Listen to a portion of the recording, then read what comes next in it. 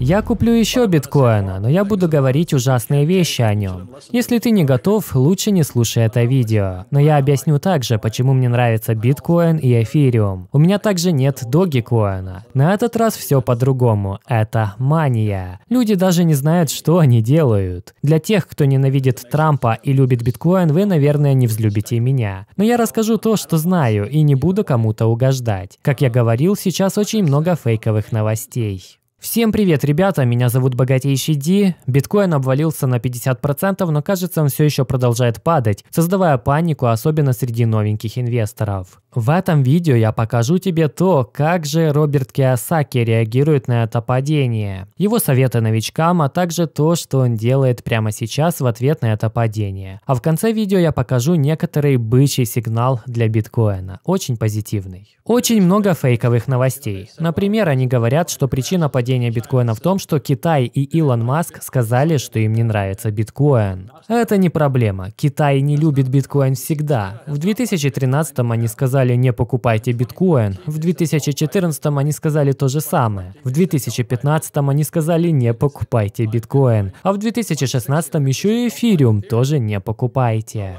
Так что теперь выходят новости и говорят, что биткоин развалился из-за того, что Китай ополчился на него. Но так было всегда. Китай всегда был настроен против биткоина. Это не причина этого краха. Я хочу смотреть более глобально. Я был в Мексике и встречался там с биткоин-миллионерами, и все они пытались заставить меня купить больше биткоина, а я говорил, зачем, он слишком вырос. Для меня это как покупать акции Apple. Они слишком дорогие. Я лучше подожду, когда они рухнут.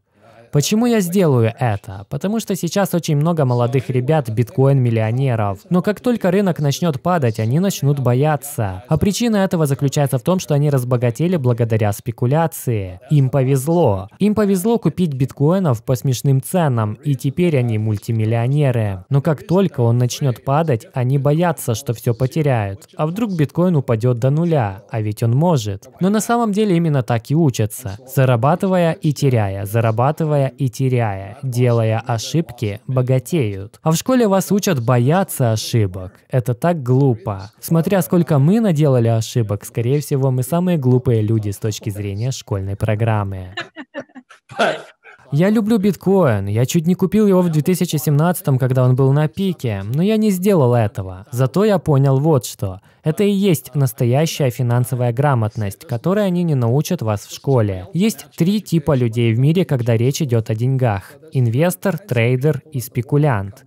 Я инвестор. В момент, когда я начал покупать биткоин, я не был трейдером. Трейдер — это, например, перепродавать недвижимость. Спекулянт же — это просто азартный игрок. И я скажу, что большинство людей, которые приходят за догикоином, биткоином и так далее, являются просто спекулянтами, азартными игроками.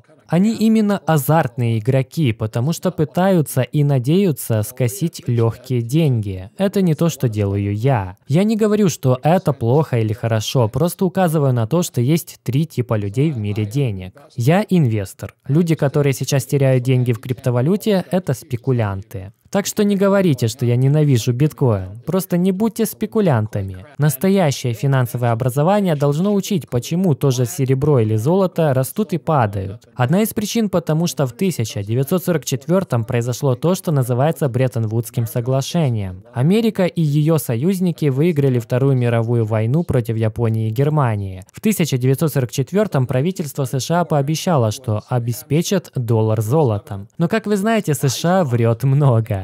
Но все в мире сказали, что будут принимать доллар, раз он равняется золоту. Но в 1971 президент Никсон нарушил это обещание – и доллар был оторван от золота и с тех пор превращается в долг. Причина, почему активы сейчас колбасит вверх-вниз, заключается в том, что произошло в 1971. Этот год изменил буквально все. В 1964 я начал покупать серебро, в 1972 я начал покупать золото, тогда за 35 долларов за унцию. Но до 1971 держать золото американцам было незаконно. Я подумал, что это достаточно странно. И тогда уже я начал относиться к ФРС с подозрением. Когда я встречаю биткоин-инвесторов, они тоже не доверяют ФРС. Они не верят никому из правительства. Поэтому биткоинеры — это по факту повстанцы, а я — это бренд восстания. Я не говорю им, идите в школу, найдите работу, тяжело работайте, копите деньги, избавьтесь от долгов и инвестируйте на долгосрок в фондовый рынок. Я запустил три публичные компании. Я создал бизнес и превратил его в публично торгуемую компанию. Как только я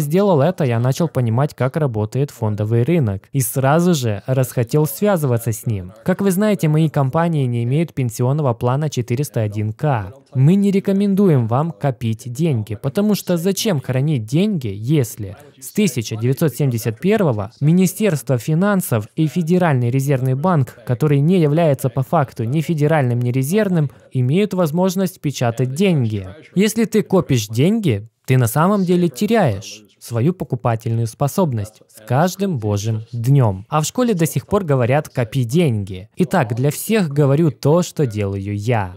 Я храню золото. Я храню серебро. Я храню биткоин, эфириум и пули.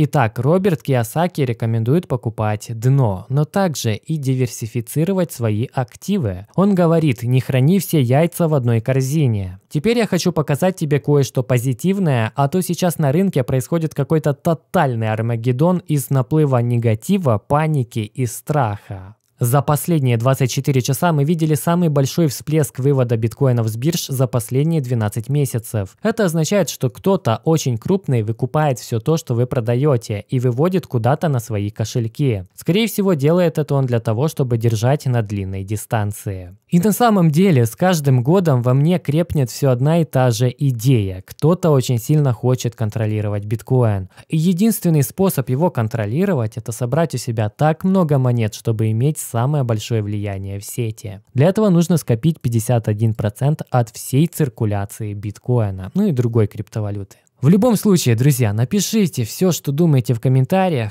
И не забывайте, криптовалюты всегда двигаются циклично, а значит не бывает бесконечного роста, точно так же, как и бесконечного падения. На этом все. Меня зовут Богатейший Ди. Подписывайтесь на канал, телеграм, жмите колокольчик, чтобы не пропускать новые видео. Делитесь видео с друзьями, комментируйте обязательно. Богатейте. До скорого.